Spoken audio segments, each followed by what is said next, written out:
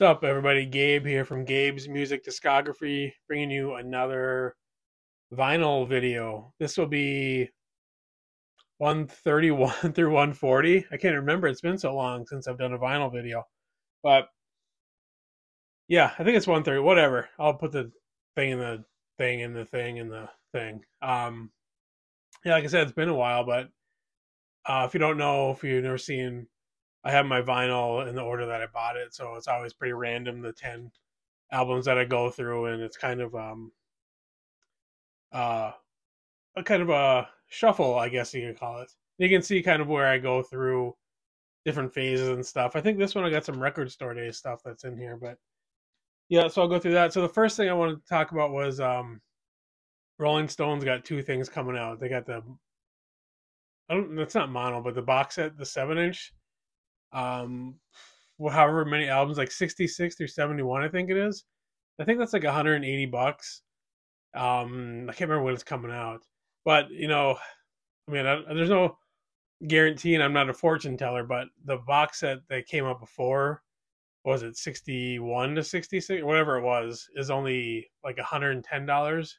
So and it was normally 180 so that's 70 dollars. So i don't know if you wait a year or two to buy it. I mean, if you can wait that long, you know, it's going to save you maybe a hundred dollars, but I'm not going to buy it. I'm not into the whole seven inch box set. I mean, Stones have got so much stuff out where I don't, you know, you have enough CDs where it has all those songs on there. So I'm not going to buy it, but I'm just saying, hey, if you wait a year or two, it might be a hundred dollars cheaper. I mean, I think you can probably wait that long, right? You really need to hear Street Fighting Man and um, Brown Sugar on seven inch. I don't know. Maybe you do. Maybe you need it right away. But if you wait, it might be cheaper. And then they also have the live at the Wiltern. Is that what it is? They have it's a three LP. I think it's sixty bucks. It's kind of a show where I think it's kind of like in a theater, and it's kind of they play some hits, but they also play a bunch of like B sides and rarities they call it. So I'm gonna get that, but I'm gonna get on CD. They have three LP they have a two disc with a Blu-ray. I think is like thirty something. They have a two disc with a CD, which is twenty eight maybe, and then they just have the two CD, which is like twenty five or something. I'll, I'll I'm just gonna get the two CD, but I think that should be pretty cool. Just to have in a smaller venue and um, you know hits plus stuff they don't normally play. I think that's from 2003, so you know they're only like 60 years old in that one so should be pretty good but yeah that comes out sometime. You can look it up. I can't remember. I'm doing this off top of my head. I had it written down but i forgot where i put the thing but yeah so that's um coming up for the stones. That should be pretty cool. Um all right so now we'll get into the vinyl the 10 albums. Van halen 2 I think this is probably an original. My cousin, a couple years ago, we had a garage sale, and he had a bunch of albums in his vehicle that he forgot to bring out, and he brought them out, like maybe 15, 20 albums, and we all just surrounded him. We were just taking them out of his hands before he could even put them down, and this is one that I grabbed. I think I, I actually traded him this for. Um, I can't remember what I traded him. I traded him something for this, but yeah, Van Halen two. I always used to kind of think this was like leftovers from Van Halen one, but I'm not sure if it is. You know, that was just whatever. I mean, I don't know. I have no idea. But that's always what I thought, but I don't know that it is that way. Here's the insert. This one is coming out. MoFi, they said in a Facebook group, they said somewhere around March they'll be coming out with Van Halen 2 on their one step or their and their SACD. So be on the lookout for that. Yeah, just the album. Um, yeah, like I said, this was always I thought kind of just stuff that was leftovers, but once again, like I said, I have no clue. I I was never there. I don't know, but I like it. The album was actually growing on me. I never. It used to be maybe like my least favorite, but it's actually kind of moved up there a little bit. I do like it a lot better than I used to like it, and I can't wait for that SACD to come out. Uh, the next one is this is Record Store Day some stuff for Record Store Day 2020. I don't think I got any of this in store because it was all sold out. But this is the first Brittany Howard live at the Sound Emporium. Um, maroon vinyl. It's a 45 RPM. It's only got six songs, but it's really cool. Like it's live, but it's almost like it's live in the studio. So I mean, the sound quality is great on it. There's a track listing. Yeah, Brittany Howard's the singer, one of the guitarists for Alabama Shakes, and I, she she has this out. Then she has her solo album out. Jaime, I think that's the name of it, and then I think she either just released another solo album or she's coming out with another solo album. It sounds kind of uh maybe there's some electronic elements to it. I think even her solo album has some kind of electronic elements, and I think this will have some more.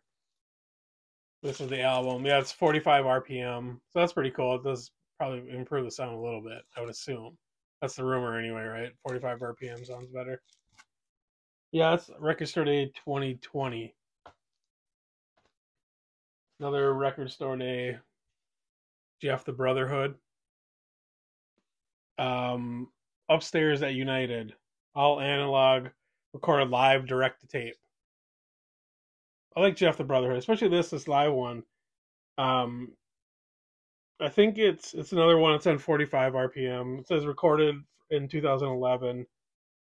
I think there's like one song that's pretty long. Hawkwind. Oh, maybe it's Master of the Universe. There's one song in it that's pretty long. It's cool. I love that stuff. Those long 10, 15, 20 minute songs. Yeah, it's just in a cardboard.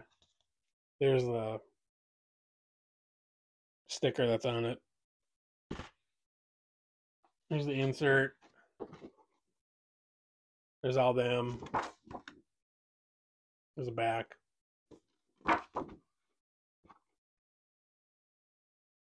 Yeah. Oh, sorry, I was just reading it. reading stuff live while I'm recording. That's always good right? You know I do that a lot. Yeah, just black vinyl, 45 RPM, Jeff the Brotherhood, another record store day. Let's see. This one we got. Now this title is very misleading because, well, um, that's it. It's um Sharhabil Ahmed, the king of Sudanese jazz. As you can see on here, it's actually this is really good. It's like I think maybe from the '60s. Um, it's not jazz at all. It's more like lo-fi kind of garage stuff. Uh, if you've never heard it, you could you should check it out if you're into that kind of stuff. But they're Sharhabil Ahmed, the king of Sudanese jazz. Like I said, it's not jazz at all. It's lo-fi garage rock. It's sung in Sudanese, but that doesn't take anything away. I, I think it yeah, it, it comes with this pretty, like I don't know, ten page booklet. Tells all the story all about him and stuff, and there he is. There's the the band. But yeah, like I said, man, it's uh if you're into that lo-fi, if you're into garage rock, this is uh, something you should check out. Sharhabil Ahmed. There's a cover. It's just uh, single LP. Yeah, like in the description, I have all the I'll list all the albums that I talk about on there, so you can. There is kind of the the hype sticker. Yeah, like I said, it's not jazz. Don't be scared of the jazz thing because it's not jazz. It's really good lo-fi garage rock. Next one. Holy Sons, Fall of Man. Um, I can't think of anything specific about this. All I remember is that it's kind of more mellow, kind of. Um, I don't know, maybe like I don't know if you've ever heard of Fox Warren, kind of acousticy a little bit. There's some rock, you know, some electric guitars and stuff, but it's pretty mellow, laid back. It's not like gonna get you um, amped up for a a concert or a or a hockey game or anything like that. It's pretty pretty laid back and mellow. I don't know. I have a CD too. I think I still have the CD. Yeah, this might end up in the um, infamous garage sale pile. Yeah, like I said, I can't think of anything specific about it. Nothing really caught my ear. I'm not sure even why I bought it. it's one of those things where you hear a song or two and like, wow, that's pretty cool. Then you get it home and listen to the whole thing, and it's like, oh, that's a little different than what I heard. Let's see. More record store day. Black Crowes, Lions. Love this album. This is like a big comeback album for me. I know they have um like War Paint came out. I wasn't a fan of War Paint. The last one that they had that I remember in that kind of their first run, um, being there maybe where they're the their lights are all behind them and it's something I don't know they're all it's like blue. It's terrible album, but this definitely I love this album. This goes up there with Southern Harmony and uh, Amorica for me. So this is the record store day. I remember I stood in line. I was the third person in line, and uh, the guy at the at the record store only had one copy, and the first guy bought it. So I didn't get. I got this pretty close to record store day, but it was only fifty bucks, and that was like the. I think that was the actual original asking price, so I was fine paying fifty bucks for it. And then see, it's on double pink vinyl, which is really cool. I love this. This is a cool color, and it sounds great too. I love the the sound of this album too is a little different. It's a little more airy maybe like less produced and it comes across pretty good on the vinyl. Yeah, and I think I just saw they're re-releasing this too. I'm not sure if it's on pink vinyl or whatever, but I think they're re-releasing that. So if you're looking for Lions on vinyl, maybe keep your eye open. I think I saw it on upcomingvinyl.com. I think that's where I saw it. But they if you've never seen that, you should check out upcomingvinyl.com. They got stuff, so much stuff. Like you had no idea it was coming out. It's crazy how much stuff they got and they, you can click on it and it'll bring you like I think I think the direct link brings you to Amazon, but you can you don't have to buy it through Amazon. But yeah, that's a great one. Um, upcomingvinyl.com. There's the hype sticker. I don't know if I can read it. Oh, and it has a download card. Yeah, that was a. I think that was the three that I got for Record Store Day. 2020. I usually buy a couple and then I'll sell one, and that one will pay for another, you know, one of them. So, you know, I also think I had the Doors uh, live at the Isle of Wit or Isle of Wight. Is that one that was out? And I just there was nothing about that one that really caught my ear, uh, so I actually sold that one. I think that came out in 2020, right? Somebody might know out there. Art Blakey and the Jazz Messengers, Coolin. I think this was like, or just Coolin, like maybe like a Lost album or something, or I don't know if it was a Lost album, but I remember hearing about when it, they were going to release it. I bought it on CD because I wasn't like, I'm not going to buy it on vinyl. I'm not. But what am I holding in my hands? The vinyl copy of it. This is neither a tone poet or classic records. This is just just uh, some release, right? I don't think this is a. This is just a, a self, you know, not self release, but just standalone release. If I'm correct, it's not part of the class. Because if it is, I probably have the Blue Note Classic hype sticker on there. I mean, just cool. Uh, Lee Morgan, Hank Mobley, Bobby Timmons. Is it Jymie Merritt? Possibly. I'm not sure. Never heard that name. On bass. Yeah, I mean it's Art Blakey and the Jazz Messengers. I'm saying, you know, like a lot of his stuff is great. Not everything. I don't have everything, but he does. They have a lot of stuff because they get a lot of great players that come through. I mean, Lee Morgan is one of my favorite favorite trumpeters. Yeah, so it's on Blue Note. I don't think it's. I think this is all analog. I'm not sure. I've never looked into it. Yeah, um, like I said, I think this is a standalone release. Uh, if you want if you're interested in if it is or isn't, it doesn't really matter if it's Blue Note Classic or not. But yeah, like I said, I don't know if it's all analog. I'm not sure, but I do remember when it when it came out. That's kind of when I was first kind of started getting into jazz. Or it must have been after. I don't know. I don't remember, but I just remember it coming out. I wasn't gonna buy it on vinyl, but I did. Like most of us, we buy vinyl even though we're not going to. This is all them witches.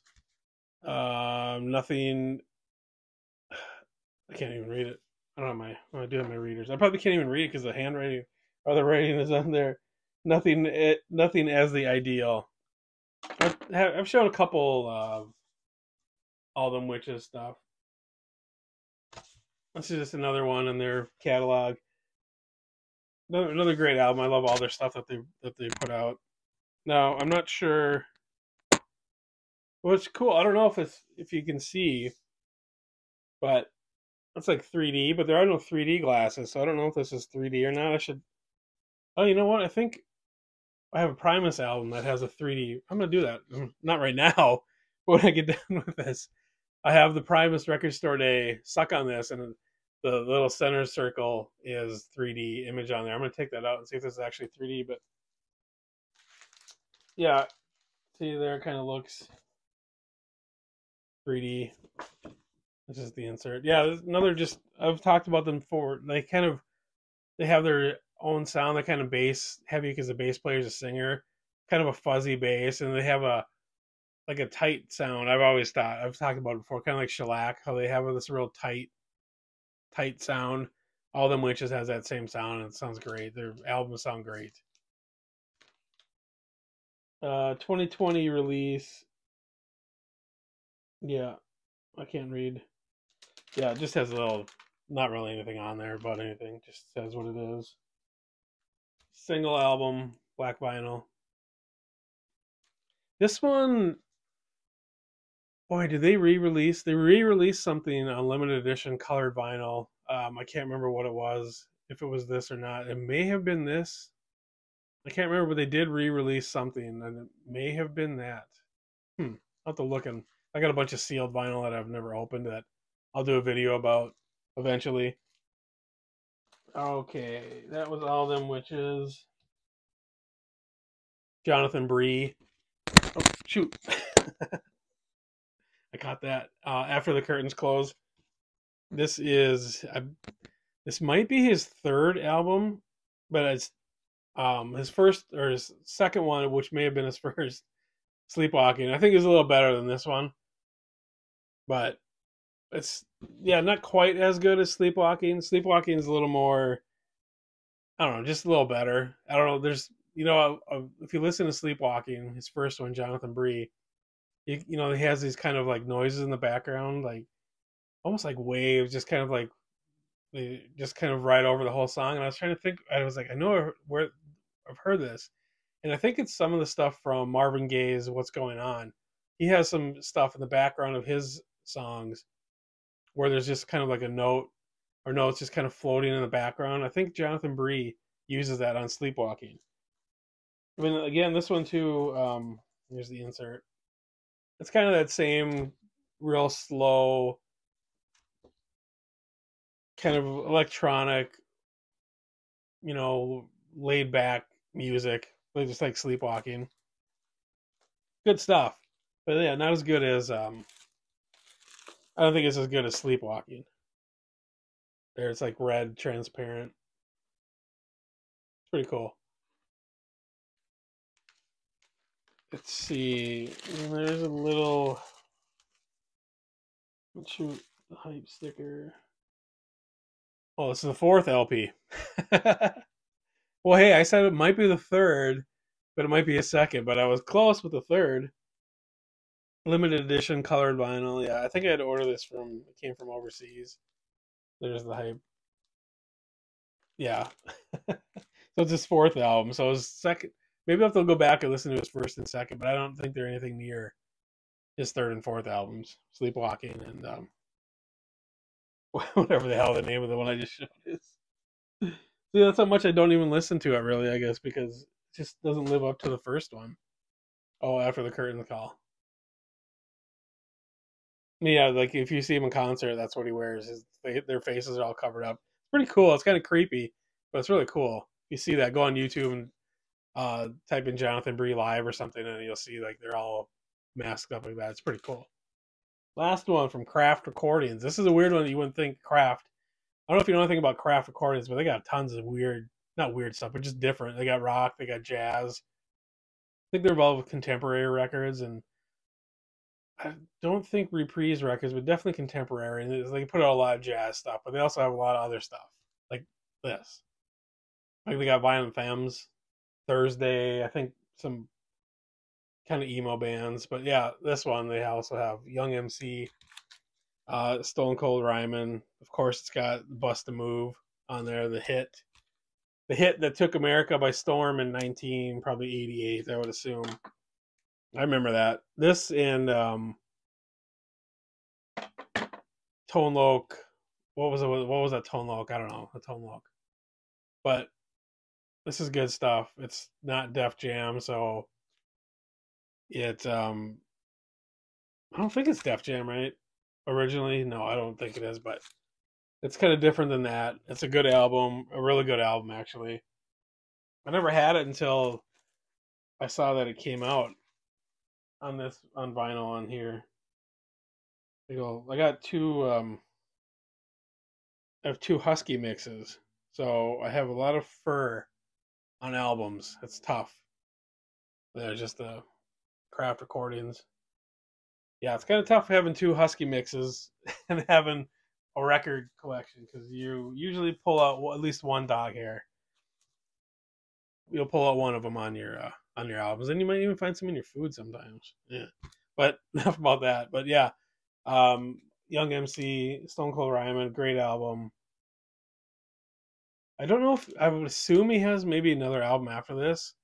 I don't know if maybe it came out like in the '90s because I think it kind of changed in the '90s. It, uh, it, it, I don't know how to describe.